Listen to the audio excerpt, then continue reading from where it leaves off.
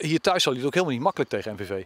Nee, klopt. Hè. De, toen waren ze ook goed georganiseerd. Uh, hadden we een fase in de wedstrijd waarin het gelijk opging. Hebben we later in de wedstrijd beslist met Joep. Uh, een doelpunt van Joep van der Sluis. Dus ja, niet te onderschatten voor ons. En ik denk dat, uh, dat we dat ook niet gaan doen. Zo, Soef, wat vind jij van sneeuw?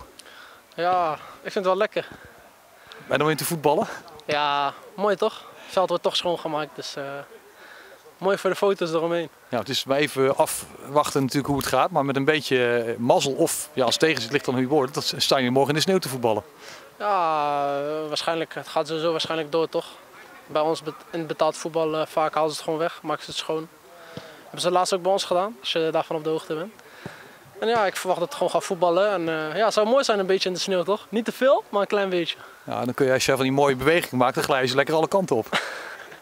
mooie bewegingen. Ik, ik, blijf, ik, blijf, lekker rustig. Ik ben lekker verdediger en uh, lekker rustig gaan. Dan natuurlijk Edgar Barretto. Hij viel fantastisch in. Dan is de vraag, moet je hem dan nu laten beginnen of moet je hem weer in die rol uh, proberen in de tweede helft? Dat is een uitstekende vraag Jan, dus daar gaan we eens even rustig over nadenken.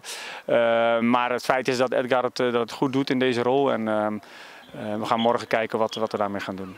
Ja, wat Barretto liet zien, dat was echt waarvoor hij gehaald is hè? Ja, onder meer. Hij is niet alleen gehaald daarvoor, hij is voor meerdere dingen gehaald. En uh, wij zijn tevreden over zijn rol. En uh, het was mooi dat dat in de wedstrijd tot uiting kwam. Uh, Playoffs sowieso, maar ik hoop dat we nog voor een tweede plek kunnen gaan. En ja, je weet wat er gebeurt. Ja, dan mag je in ieder geval geen steken laten vallen. Dan moet je zo'n wedstrijd als MVV nee, absoluut winnen. Ja, we hebben al eerder van die steekjes laten vallen, helaas. Anders stond je al een stuk hoger. Stond je al derde waarschijnlijk. Maar erop klappen en alles aan doen om iets te winnen. Ik wil graag iets winnen met NEC.